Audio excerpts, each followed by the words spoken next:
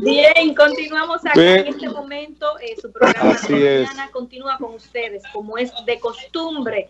Eh, vamos eh, ahora precisamente a iniciar con el tema central, el debate, los comentarios de ustedes. Llámenos, por favor, qué opinan sobre esta situación de toque de queda en la República Dominicana a propósito de los 7.638 personas detenidas en tres días por la Policía Nacional, lógicamente.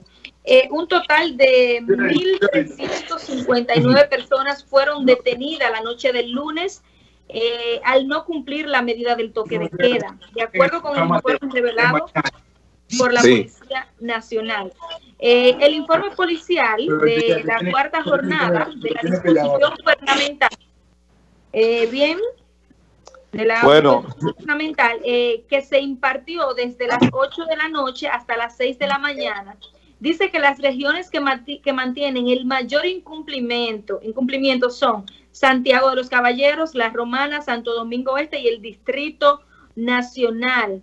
De esto, los 1.359 eh, representan una disminución en relación a los primeros, eh, a los primeros días. El primer día se reportó un total de 1.714. Escuchen esto. El segundo día, 2.102. Y, una tercer, y el tercer día, 1.911. Para un total de 7.638. Amado, vamos a ver, ¿qué te parece esta cantidad abrumadora de gente? Mira, eso, eso básicamente tiene mucho que ver con el tema de nuestra proverbial eh, falta de, de conocimiento. O sea, el dominicano es un pueblo eh, compuesto por gente que independientemente de que sepa leer y, escribir, no tiene las suficientes herramientas para desentrañar el mundo que nos rodea. Y por esa razón tú lo ves que actuamos como estamos actuando en medio de esta pandemia. Gente que no respeta la el, toque de queda, un toque de queda que lo que busca es básicamente evitar la concentración de personas para al mismo tiempo evitar el contagio masivo del virus. Y por supuesto eso se debe al hecho de que mucha gente cree que siempre le están engañando. Detrás de, detrás de, tal, de toda decisión, eh, sobre todo decisión estatal, hay un interés. Y ahí viene el problema. La gente no se sienta a analizar si realmente desde el punto de vista lógico, porque es que no tiene herramientas suficientes para llegar a sentarse a pensar lógicamente de si la decisión, independientemente de que no creo en el Estado o no creo en las autoridades, pero si esa decisión tiene la tendencia a evitar lo que ellos realmente dicen que tiende a evitar. Y eso se debe precisamente a nuestra proverbial falta de capacidad, nuestra proverbial falta de eh, desarrollo intelectual el pueblo dominicano ah, efectivamente es un pueblo con un analfabetismo que ha ido reduciendo en, el, en el tiempo, pero en definitiva eh, el hecho de que sepamos leer y escribir no quiere decir que tengamos las suficientes herramientas para poder analizar.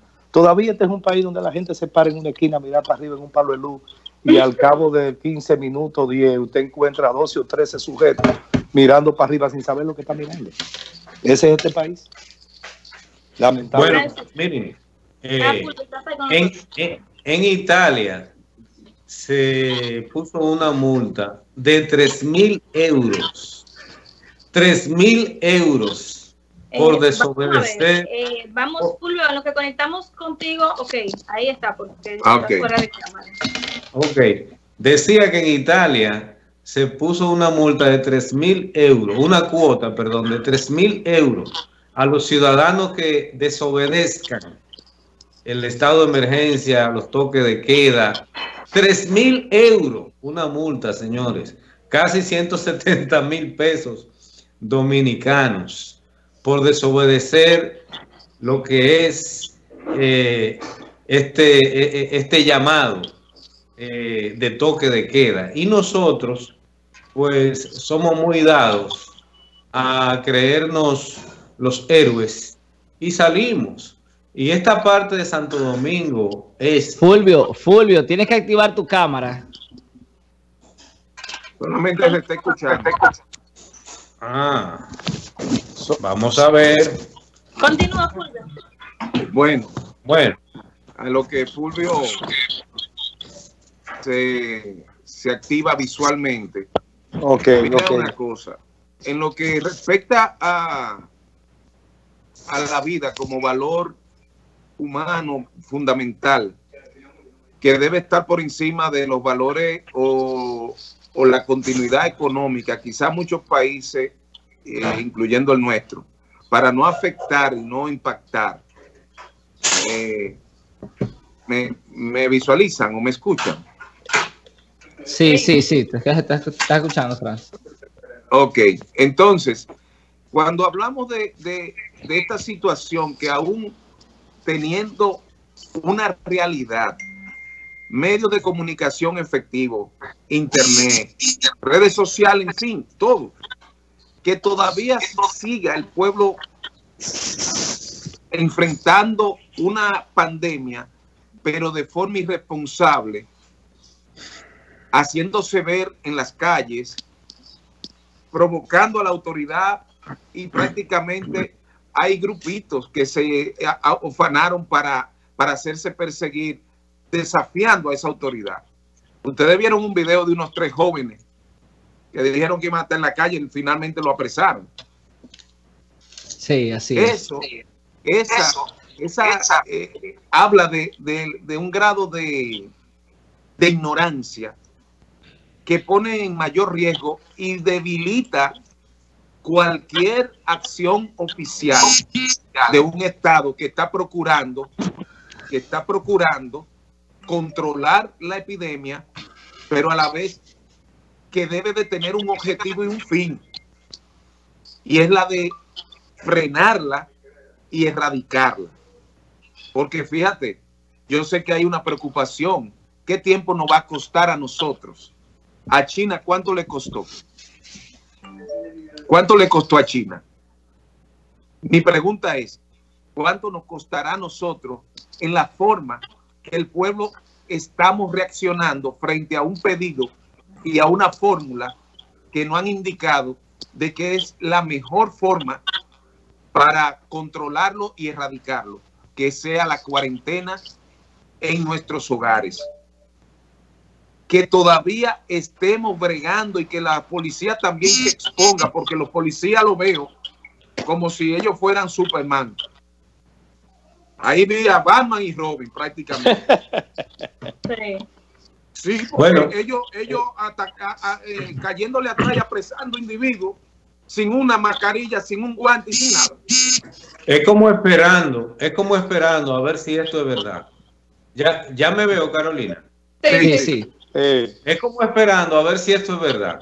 Siempre va a haber estos remanentes de la población que va, van a tratar de salir. Y esto lo que provoca es indignación en la mayoría de la población y ellos mismos le llaman la atención a aquellos. Entonces, esos remanentes, ahí entra la parte de la autoridad para hacerle ver que el asunto es en serio, que es de verdad, que entre todos tenemos que cuidarnos y aquel que viole eso está poniendo en riesgo a la población y por lo tanto tiene que pagar la consecuencia. Ahí entra el régimen de consecuencia, que el doctor Amado, Francis, Yerjan pueden pues abundar sobre eso. En estos bueno, casos de emergencia se tiene régimen de consecuencia que llega inmediatamente la ley hacia ellos. Así es, con relación a todo esto, ya nosotros hemos dicho eh, que el gobierno debe tirar lamentablemente el ejército a la calle, ya que la gente, fíjense ustedes que cada día se van apresando más personas eh, con, en el toque de queda a partir de las 8 de la noche.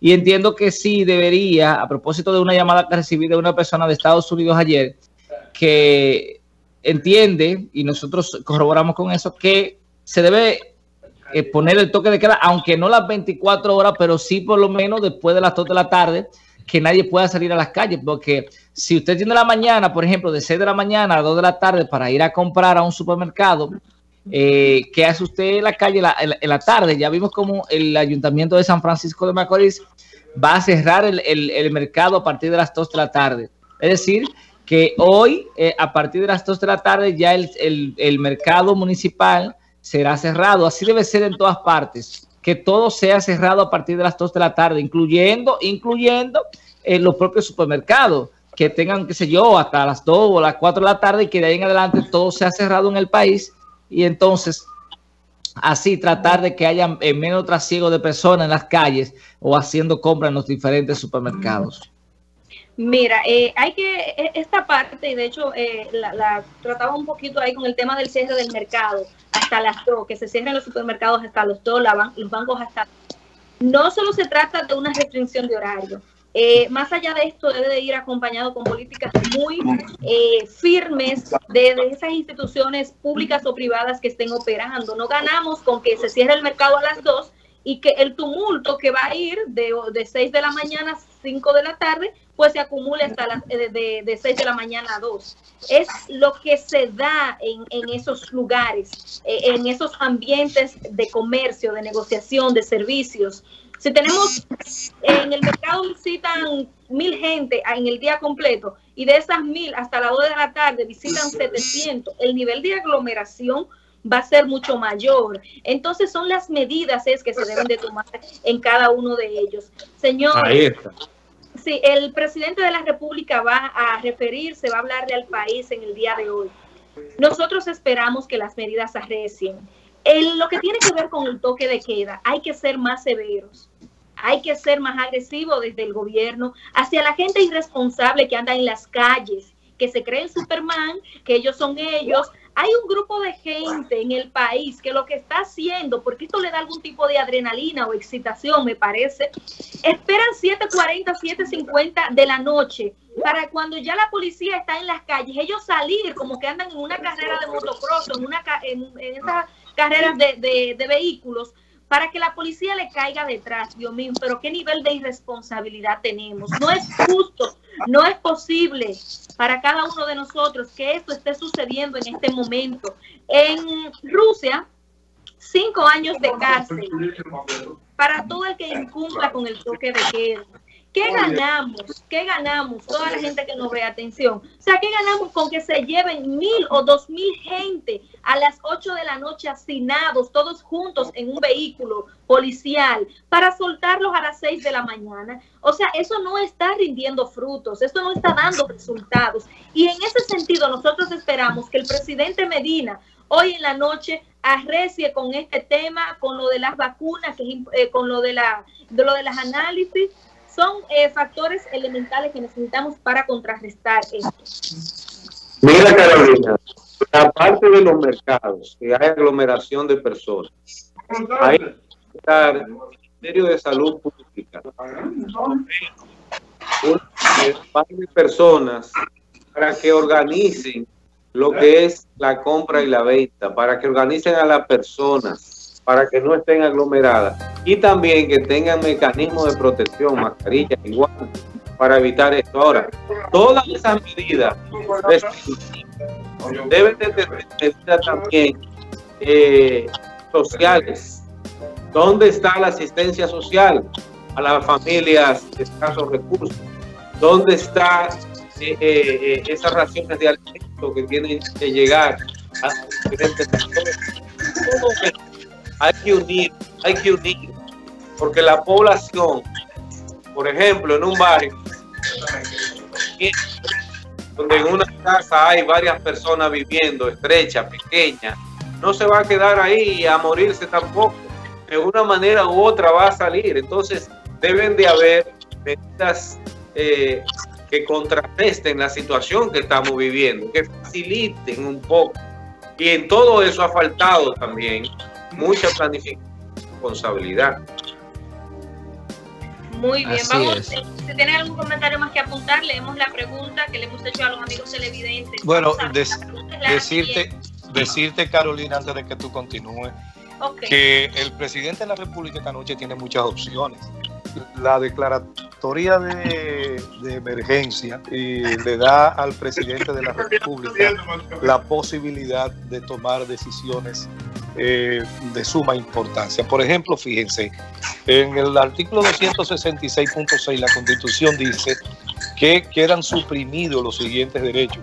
Reducción a prisión, privación de libertad sin causa, plazo de sometimiento a la autoridad, traslado desde cualquier establecimiento carcelario, presentación de detenidos, lo relativo al habeas corpus, la inviolabilidad del domicilio, la libertad de tránsito, la libertad de expresión, la libertad de asociación, la inviabilidad de la correspondencia. Todos esos son derechos que quedan suprimidos con la declaratoria de emergencia eh, nacional que hay en la República Dominicana, por lo que él tiene una coctelera. Ahora, concuerdo con Fulvio en el sentido de que eso tiene que traer otras disposiciones, garantía de alimentación para la, para la gran mayoría o para todo el pueblo que no puede suministrárselo eh, por sí solo, eh, la, las pruebas, el kit de prueba del coronavirus que deben estar disponibles y pendientes porque en definitiva tú no le puedes dar solo palo a la gente, tienes que buscarle la forma de que tengan un ungüento que resuelva un poquito el dolor, ¿verdad? Entonces es un equilibrio. Pero sí el presidente tiene una costelera para poder eh, eh, tomar decisiones, decidir cosas que realmente son importantes en este momento. Bien, ahí está. Muy bien. Vamos en este momento a leer la pregunta del día y a conectar con los usuarios. La pregunta del día es la siguiente. ¿Confía usted en las declaraciones del ministro de Salud cuando afirma que no están ocultando casos positivos de coronavirus? ¿Qué opina la gente? Vamos a ver, Yerjan. De mañana.